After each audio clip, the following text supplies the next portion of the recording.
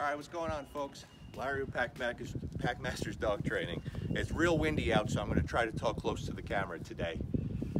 For several years now, so many of you have asked me to make a video on loose leash walking, right? How to get your dogs to stop pulling on a leash. And forever I've said I don't really teach it because my dogs just do it, my clients' dogs just do it as part of the training process. But you know what? So many people struggle with it. I'm gonna give you six things today, six very basic small things that will help any owner and any dog master this very easily, okay? We're not gonna use any tools right now, no prong collars, no e-collars, no nothing. Very simple that anyone can conquer this very important task, all right? Number one, the first thing you have to conquer. You saw that door open, I gave him plenty of space. I don't ask for anything. I don't have him sit down. I don't care what he does. All I need is him to respect that space. So that means when the door opens, he's not to blow through it. He's supposed to respect my space and relax. And then I can move forward. That is number one. If you come blowing through the door with that dog, you fail right there. You're not ready to move ahead. You have to conquer that first, okay? Now, the second thing you need to have, you need to have a reward marker and a release word. Some people use clickers, I use verbal markers like a lot of people do. So for the people that know nothing about dog training, what that means is you either use a clicker or a reward marker. You ask your dog to do something, he does it, you say yes or you click, and then you follow with a reward. Very simple, I'll show you in a second. The release marker is also very important, guys. You won't believe how many people I work with that don't have a release command for their dog. It's very important that your dog knows when he is to be in command. Very important. But it's also important that he knows when he doesn't have to be in command it makes things very confusing when you don't have that release marker. I use free dog. I'm going to show you what I mean about the leash pressure right now, okay, when we mark it. But again, use a reward marker and a release command. And the, the next thing we got to talk about, and I don't know if I said this already, sorry, is the dog has to understand leash pressure, okay? What I mean by leash pressure is straight line leash pressure I'm going to show you. So this is the first thing besides the door I'm going to show you. When I say leash pressure, you see me okay there, Sophia? Mm-hmm. Okay. So I do have food on me. The dog is here. He has to learn how to yield to the leash pressure. When I say straight line, I mean the leash isn't like this. You put it flat, parallel to the ground. You apply a little pressure. Yes. Okay? As soon as the dog moves towards it, you mark it and reward. That's why you have to have a reward marker. Again, watch. Very light pressure. Yes. Good boy. All right. The other way. Yes. Very good. One more time, okay? Straight line pressure. Here. Yes. Good boy. Good boy. Guys, I know that's very basic and very simple, but you'd be amazed on how many people don't teach leash pressure. The dog has to understand it. The next thing we're gonna do, turnabouts or the 180s. What this means is if my dog is on my left, which he's going to be, I'm going to just walk. Okay, I'm gonna walk forward and I'm gonna turn 180 degrees away from the dog. That means if the dog's on my left, I'm gonna turn to the right and go the other way what's going to happen? One of two things is going to happen. Either he's going to keep going, and when he gets to the end of the leash, he'll feel the tension and he'll turn and catch up to me. That's a good thing. That's what we want. The other thing that may happen is before he gets to the end of the leash, he will see me leaving, and that social pressure will cause him to turn around and follow me. That's also a good thing. That's what we want. It looks like this. Very basic, very simple. Come on, boy.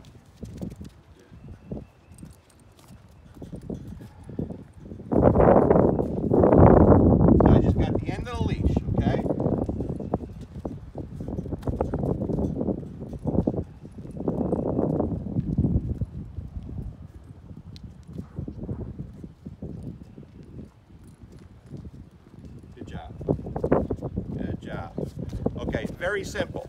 You see, Askham's not going anywhere. He's staying with me. He's a good candidate for this because although he walked pretty good with me from the start, he does like to pull and forage, okay? So especially with the bigger dogs.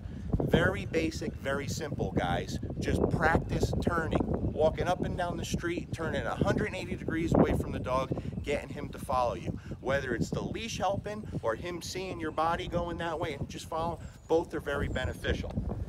The next thing, we have to teach the dog to follow the left leg. We want him along the left leg, right? That's where he needs to be. The easiest way to do that is to show him. I'm gonna show you what we do, break it down into little baby steps to show him what we mean by sticking by the left leg. Let me show you.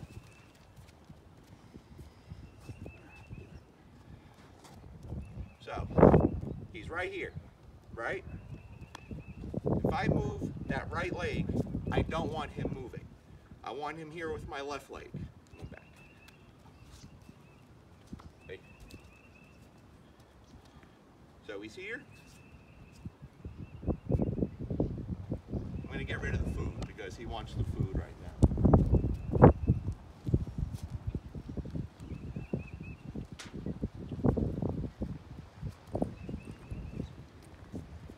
The only part I wanted the food was showing you guys the leash pressure, marking and rewarding, okay?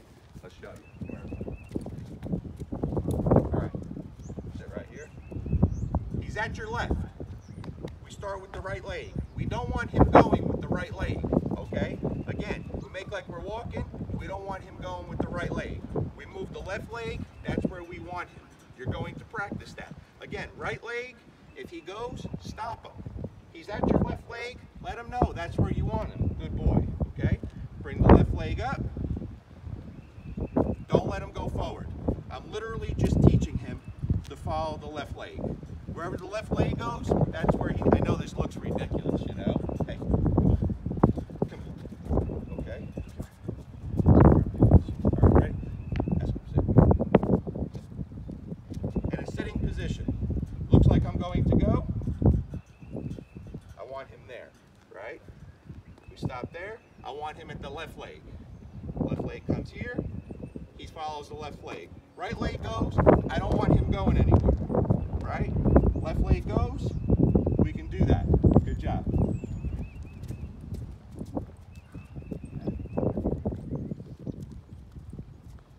Good. So he's right here, right? I stop there. I don't want him going where the right leg is.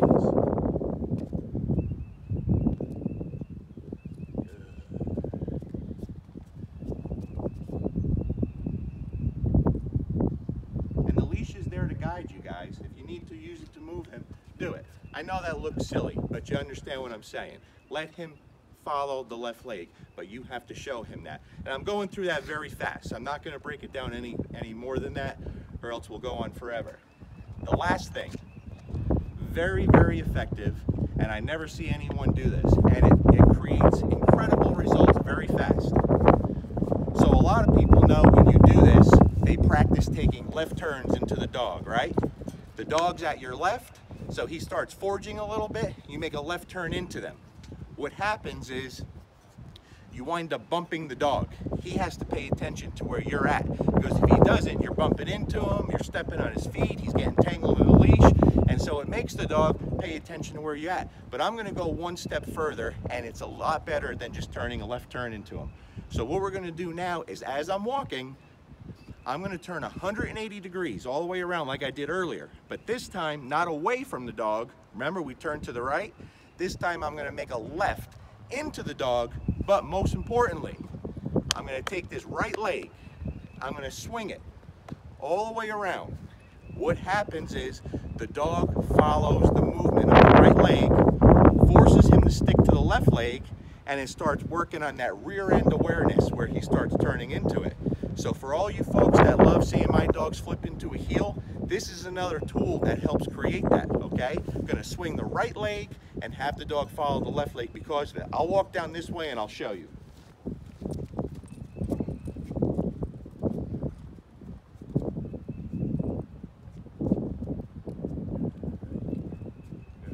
So we're gonna walk, I'm gonna take that right leg.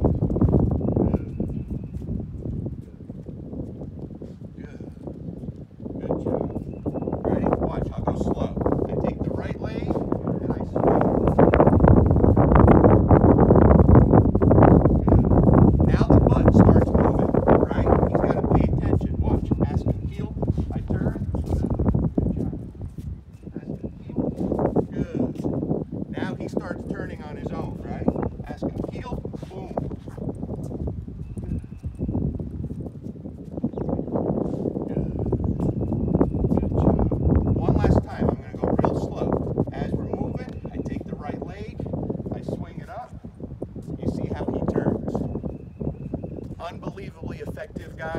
Good makes this process go very quick.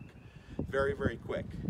Now, you guys see I'm just using a leash and a leather collar. A lot of people are going to say, why don't you use a prong collar or an e-collar? I'm going to explain to you why I don't.